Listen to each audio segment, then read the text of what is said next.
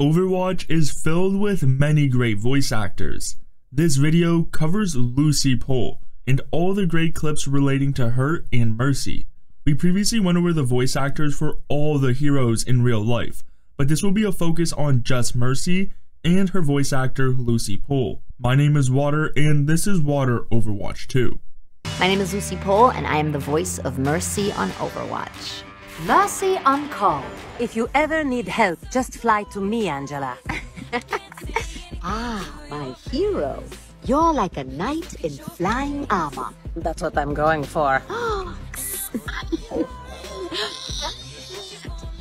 I got into acting at a young age. My family is a theater family in Germany. They're all actors, writers. When I was eight years old, we moved to New York. My first audition was for this youth theater group. That's when my acting career started.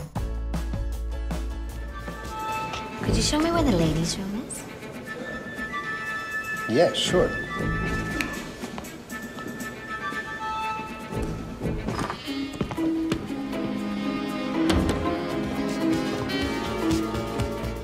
Voice acting came later.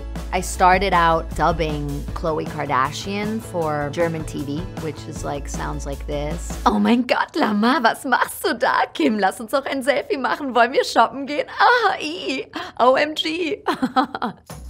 In a lot of ways, it's funny because when I first started working on this game, I sort of dismissed it a little bit as like, oh, it's just a video game. I wasn't a big gamer ever.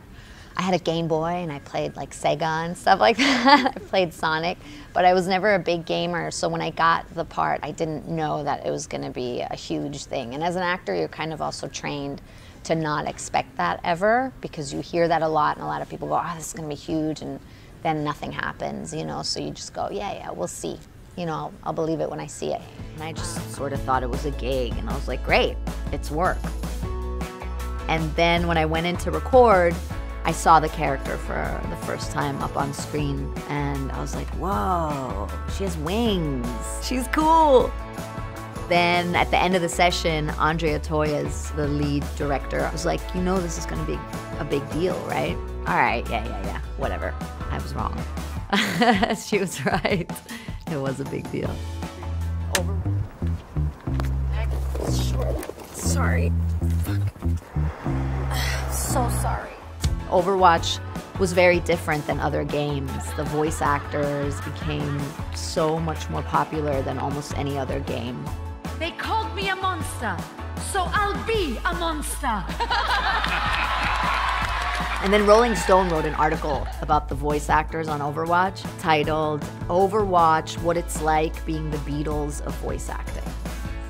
And it's been so crazy and amazing. I mean, from meeting all the fans and hearing like individual stories to really touching moments where people, you know, tell us that the game has gotten them through depression or even darker, you know, periods in their lives. Um, so that's so amazing just to think that we're a part of something that gives so much joy or is so important to people. That's so cool, you know, it's so special because you don't get that chance very often as an actor. I never would have thought that I would meet people all over the world whose lives have been so touched and altered by this game. And when Blizzard came out with the breast cancer awareness skin, the pink skin, their goal was to raise $250,000 and then they ended up doing 12.7 million. And that was such a big moment for me because I was like, wow, this can really make a difference. What she stands for is something so important in the world. Helping those in need is its own reward. My favorite thing about Mercy is that she's a very feminine character, very empathetic. She's all about helping others. I'm right behind you. But then she's a doctor, very educated, super tough. She's a badass. Heroes never die. She's a real woman. And I think that in video games and entertainment, we have lacked that for so long. We want to see these types of characters that are like the women we know in real life. Let's keep the skies clear together. Okay? Oh, Pharah. My mercy. Happening, I will be cosplaying Mercy for the first time ever. And we chose to do the witch skin. It has a lot of really fun details, a really cool witch hat, thigh-high boots with these really cool buttons. And then she has her staff, her Caduceus staff, but the like bottom of it is a broom. And then the wings, of course. I've been wanting to do this for so long. I'm so excited and I can't wait. Your witch has arrived. I'll be watching over you. All right, I think we got it. Cool.